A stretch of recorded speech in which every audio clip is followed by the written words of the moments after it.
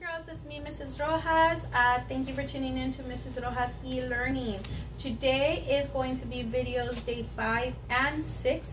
We're doing iStation Math, Unit 35. Make sure you have your packet. It says operations, addition, problem solving strategies. It starts with page one. So the first one just tells you what your packet has. Move that to the side. The second one, it gives you a little bit more information, your objective, and the materials that are in your packet. Um, and I really want you to focus on your vocabulary, which is add and sum. We covered those on the previous videos as part of our vocabulary for our fact families. So adding, we do know that you find the total by combining two or more sets, right? You put them together. And for sum, sum is just the answer when you do add those, those addends, right? Um, you're adding two or more of the numbers, the addends. All right, I'll move that to the side. Reference this if you need to for vocabulary. Okay, so this is going to be our day one. It starts on page three if you would like to follow. If not, it's okay. This is what I'm teaching you, okay? Um, so, for example, boys and girls, we solve problems and make decisions every day, right? It's just life. Whether we encounter these problems in, in class, we've done that outside of school, um, we need certain strategies to be able to solve those problems, right? Okay, so for example, let's say I'm planning a party, right?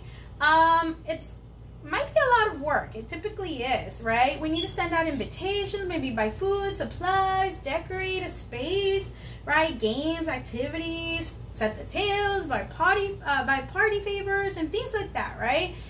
And it might be a lot of information for us to be able to keep track, right? So we also need to decide how much money, right, this is going to cost us uh, as well, right?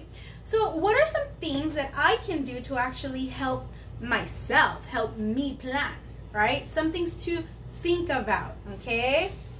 So, some ways, start thinking.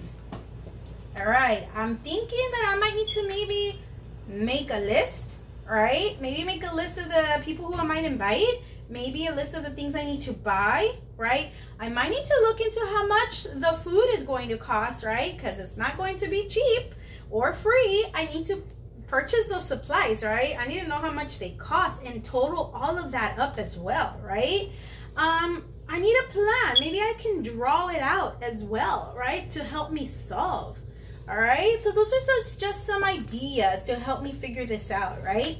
All right, so today what we're going to do is we're going to start off with our model, okay? This is going to be to open up our lesson, okay? Now, um, there are two strategies, boys and girls, that we're going to focus on. So if you have page 10, what I need you to do is if you do have scissors with you, you can cut out page 10, okay? You can do that now. Okay, boys and girls, so now that you cut out page 10, if you did not have scissors, it's okay. You can just put your page to the top, fold it, right? Fold it out, and that way you can see those two cards. One of them says work backward and the other one says draw a picture. Okay, we're going to figure out which strategy we're actually going to use to help us figure out um, and solve our problem, right? All of these problems that we're going to work today are going to be with addition, right? So we're going to figure out which model to use first, okay? So I'm going to give you a scenario, okay? Um, I want you to follow along with me, okay? And, um, and let's find out which strategy I'm actually going to work with, okay? In this example, okay? And then in a little bit, you're going to practice that as well, okay? So follow with me. Okay, so this is my model right here, boys and girls, okay?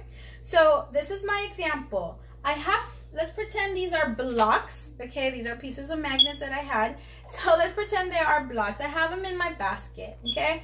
Let's say I'm going to transfer them over to my next basket, okay? So I'm going to just start moving them along, moving them along, moving them along, moving them along. And as I'm moving them along, I'm going which direction? I'm going forward, right? Okay. So I moved them, but wait a minute. How many blocks did I have originally? I started off with how many? Five right? But how many did I wind up here at my end? This is my start.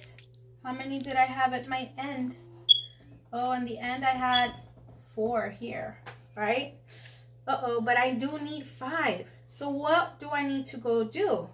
I might need to retrace my steps, right? And I'm going to go from the end back to the beginning to make sure I pick up all my blocks that I originally had, right, with me in my basket, okay? So I know I discovered that the beginning number was my five. So I'm going to be working what? Working backward or should I draw a picture? So if I need to go back, that's already a keyword, I am going to work backward, right? So I'm going to go back, do, do, do, do, do, do, do, keep going back, keep going back. And this is where I started, right? And originally where I started, I started with how many? I started with five, okay? Working backwards, boys and girls, it's an excellent strategy to finding missing information in a problem, just like I did here, okay? This is just an example as a model to open this lesson up, okay? Now, boys and girls, I'm going to erase my board. So we, we looked at working backward. Now, which one do you think we have left here to work at? Okay, so now we're going to be drawing a picture, okay? Let's figure out how we can do that when we're actually needing to draw a picture, okay? All right. I'm going to read you a little story and I'm going to be drawing arrows as I'm reading it. And I want you to follow along. Let's see if this method helps you to be able to solve problems as well, okay?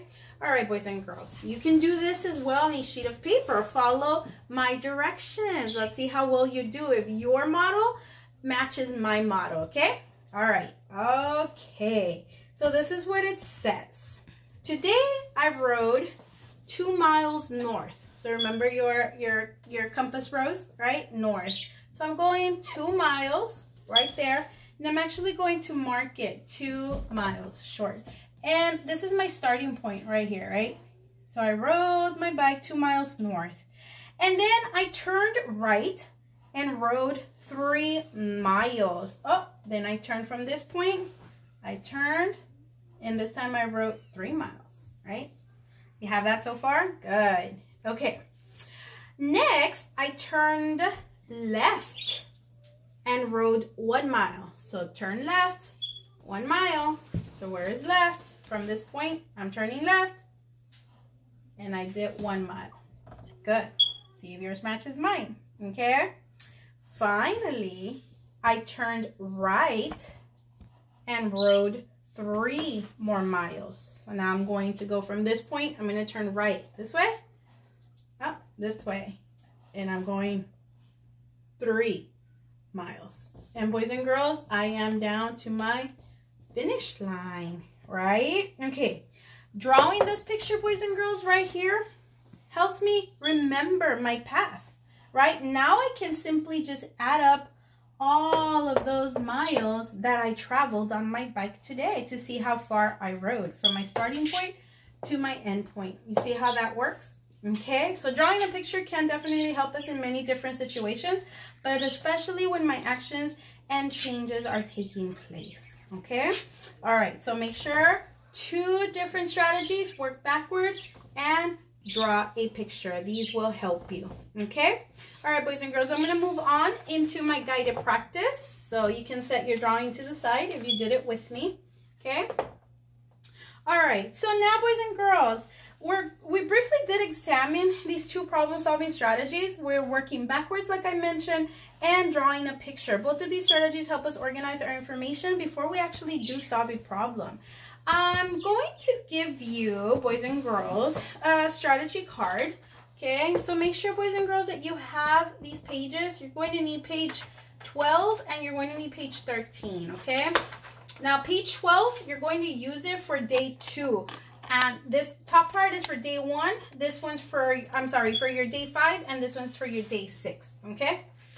All right, so make sure you have this one handy, page 13, because we're going to reference that in a bit. So for right now, take page 12, and I want you to cut out these two cards, the small, it should say small strategy symbol cards. Go ahead and at this time, if you do have scissors, go ahead and cut, and I'll be right back. Okay, welcome back, boys and girls. If you did cut these out, perfect. If you did not, it is okay. What you can do is, again, look at them, the small ones, as long as you know how to write the word. It says work backward with the arrow, and then draw a picture. You can actually write your responses here if you do have a pencil or crayon or anything you have available to write with, okay? All right, that's all you were going to do. We're just going to match, okay? For this sheet, page 13, you are not going to solve yet, okay? You will solve at the end of the lesson as part of your independent. You're also going to do it for your day two uh, problems as well, okay? So for right now, all we're going to do is we're actually going to read the problem and we're going to decide which strategy would best work, okay? I'm going to read it. You will decide. I will pause it for a little bit.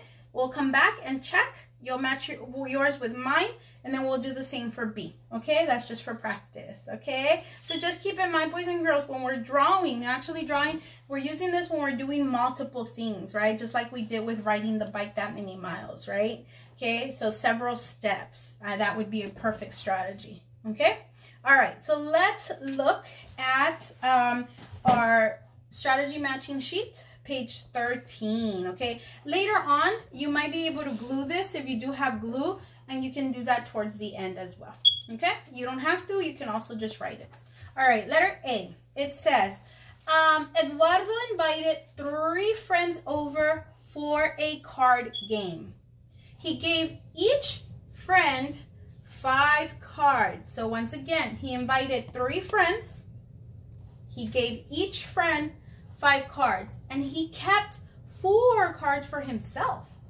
How many cards did they use to play the game, right? Remember, boys and girls, these problems are all addition. So which strategy would you use to be able to solve?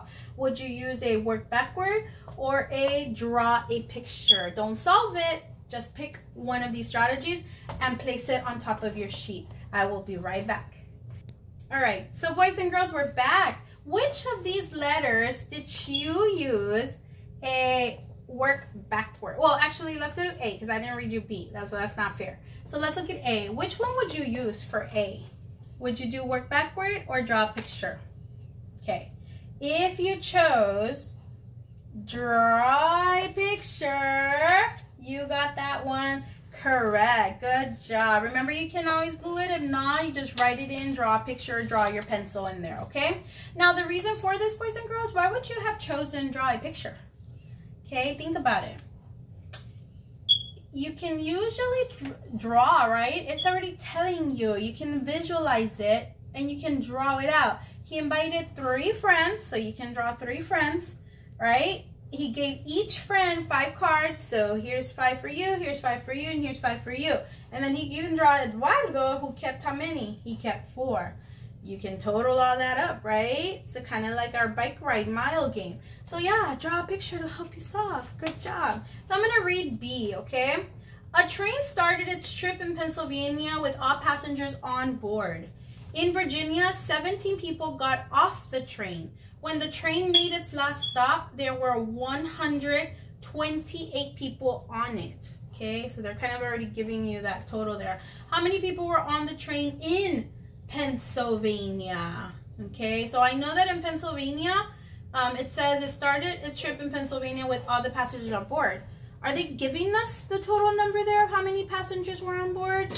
Right, we have some numbers missing. We have a number missing there. So I'm thinking, boys and girls, that if you did working backward strategy from the total, right, that it's giving you of 128 people, and we know that 17 people got off the train, what I can do here is work backwards to be able to get my complete total of where it started, just like I did with my blocks. Remember, I started with five, I picked four, I left one behind, and I had to go backwards to get my complete total. This is something that you can practice with this problem, okay? Because you're missing some information, that's what we need to figure out, all right?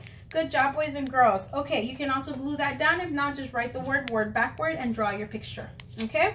All right, now we can set this one to the side. Do not get rid of page 13 because you will be solving on page 15. So if you notice, I put problem A, problem B. I don't have another sheet. You probably don't either. So on the back of that sheet, it is blank. You can draw out C and D because you will be working out day two on the back of this paper. Okay, and then putting your answer and working out your problem here to solve. You're either going to draw a picture or work backward for that one, okay? All right, so for problem page 15, this is where you boys and girls would be uh, solving your problems for your independent practice, okay? I'm going to allow you to try to work A and B out here on page 15. Go ahead and draw how to be able to solve it and write your answer here in the box. Do the same for B. Go ahead and work backwards, okay? Figure this out, okay? And then work your answer here on the box corner. And we'll come back and check uh, this um, will be checked as part of your independent practice altogether for page two, okay? Just try your best, okay? I'll see you back for day two. Hi boys and girls, it's Mrs. Rojas once again back for day day six, right? So I just finished day five earlier. So for day six, you're going to be looking at page seven, eight, nine for your lesson, along with page um, 11, 12, 13, 14, and 15. It may seem like a lot, but it's because you have to cut out some things, okay? So before we get to the cutting part, let me just open up our lesson by explaining the lesson from before, okay? We solved two different ways, working backwards and also drawing a picture. Those are two of the methods we used earlier, okay? Uh, we need to solve problems when missing information. We know that the best way to do that is we're working backwards, right? When we're, they're not giving us all the numbers, all the, the, the numbers we need to be able to solve, right? Um, when we need to keep track of several steps, several actions in the story, boys and girls. The one that was most helpful was drawing a picture, right? Okay, we've learned that problems is a part of everyday life, right? For example, when I go to the grocery store, um, I could just wander right up and down the aisles looking at all these choices and try to remember what I need or what I want, right? Try to remember. However, that will take a very long time, right? So what could I do to help my shopping trip more efficient? Okay, how can I make it better when I go to the store, right? And not have to remember everything that I might need or want. What can I do? Mm, maybe I might make a list, right? So look at page 11. We're going to maybe cut these out if you have scissors, okay? If you don't, it's okay. Just kind of fold it. And um, this is just like what we did here, okay? So go ahead and take time right now and go ahead and cut. Okay, boys and girls, now that you cut this out, um, make sure you're looking at this one that says make a list. This is one strategy that we're going to utilize today along with um, making a table, okay? We're going to end up using page 14, so make sure you have these out, C and D. We're going to do the same thing just like we did for A and B, okay? We're going to figure out which one of these we're going to use, but before that, um, we're going to find out uh, how and what's going to help us figure out which strategy we should use. Okay, so looking at my big grocery list here, right? Typically when I make a list, boys and girls, I'm using numbers and I put them in order and then I write down what I need. As soon as I'm shopping, right, and stuff, and I already find what I'm looking for, I cross it out, okay? That helps me keep track and knowing what else I need, right, from my list, okay? Now, that is you using making a list. You keep track. It helps you, okay? Um, so, boys and girls, there's another situation. So, when we need to solve problems that follow patterns, just like here, let's say, for example, there's a manager at a movie theater, right? He needs to know how many people can fit in the theater, right? Um, to be able to watch the movie. In his theater, there's an equal number of chairs in every row. Okay, so boys and girls start thinking rows and columns here, right? So there are different types of rows. They're already telling me that in each row, it starts off with four. Then if I have two rows, it goes up to eight. Then I have three rows. I'm adding 12, 12 all together. And then I have four rows. There's a total of 16. So this is the number of chairs, right, all together in my theater with this many number of rows. If I keep going for my rows five, then I know I'm going to add on which number because that's the number I started off with four more right so it keeps growing as a pattern so when you're doing making a table you're looking for a pattern okay now let's look at both of these really quick let's examine what is the same and what is different about those strategies that we can use um, I can see that's the same look at that it's the same with numbers right one, two, three, four, same rows right here. Here we have six, right? Here we have more words. Here we just have numbers, okay? Here I might need two bananas, three apples, but here there's a pattern that I'm following. So that's something that's a little different, right? But I know that both of these keep me organized. That's something that's the same about those both, okay? All right, so now we're gonna figure out, boys and girls, by looking at page um, eight, we're going to figure out which one of these I should use to be able to solve that problem. I'm not going to solve the problem, but I am going to figure these out. I will solve, remember, for your independent practice at the end of the video. Okay, so I'm going to read C. You're going to figure out which one you need. And before you do that, take a little bit of time and go to the, the half of the section that you have left from page 12. This is the small cards, like the ones that I have here. Remember, these are my large cards. Then I have small cards. They're the same thing, okay? These you can end up gluing when you figure these out you can glue them there. Okay, so take some time and cut them out if you have scissors. If you don't, it's okay. You can just write the word. Make a table or make a list. Okay? Okay, boys and girls, welcome back. I hope you did cut out your smalls. If you didn't remember, you're just going to write make a table or make a list on either of these boxes, okay? All right, so I'm going to read C. We're going to decide which one of these best fits the strategy that we should use, okay? So for C, Jackie is organizing the clothes in her closet. She has four jackets, six shirts, three dresses, and seven scarves. How many items does she have in all? So think about these two strategies that I just mentioned, make a table or make a list. It's the same ones here. Which one do you think would best fit into C? Now let's look at D. I'm gonna read D, okay? So be thinking about it. A farmer keeps 12 cows in each pen on the farm. Two pens have a total of 24 cows, and three pens have a total of 36 cows. How many cows are in five pens? Okay, so think about which strategy would best make a table or make a list. Okay, I'll come back and we'll check our answers. Okay, boys and girls, so which one did you choose for C? Which of these strategy would you use? Would you make a table or make a list? If you chose, make a list. Ding, ding, ding, ding. You got it right. Put a check mark on it. So boys and girls, what's the reason why we chose making a list? Well, it's actually listing several items for you, right? So you can just write them down and organize those. It's listing four jackets, six shirts, those commas in between, we use commas when we make lists. That's another key example there, okay? So yeah, and then you get your total, right, of how many items you need. So this is also an addition problem. Both of these are. All right, so then that means that for letter D, of course, it was make a table. So if you chose make a table, ding, ding, ding, good job, you got it, check mark it. Now, boys and girls, we know that. Why? Why do we need to make a table for this? okay? Because it's already telling us, boys and girls, that the cows are in equal groups. So it says he keeps 12 cows in each pen. So that's one, right? One pen, there's 12 in here. In two, there's a total of 24. So they're adding in more. Then in three, there's a total of 36. You see that number? You're adding some more in there. So I know, boys and girls, and I'm also thinking rows and columns here, okay? So making a table for pen one, pen two, pen three, right? And it says how many cows are in the five pens. So if I keep going, one, two, three, four, and five, starting with number 12, and I keep adding in there 12, 12, 12 every time, what would be your end result when you have five pens all together? That is what you, boys and girls, are going to solve on your problem solving sheet. You will be solving, remember what I mentioned in day five?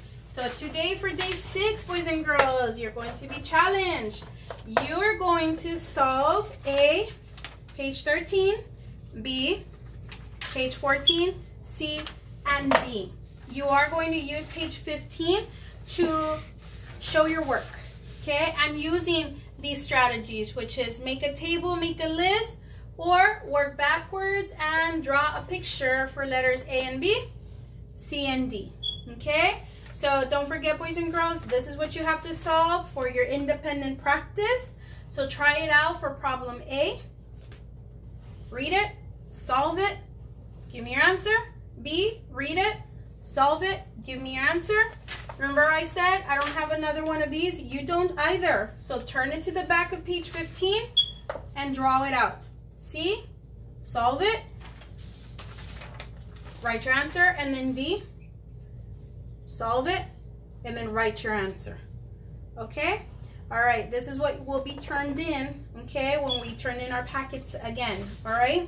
Um, so work hard, boys and girls. You're already becoming expert problem solvers. I hope that this video helped. Please stay safe, and I will see you soon for videos uh, seven and eight. Bye.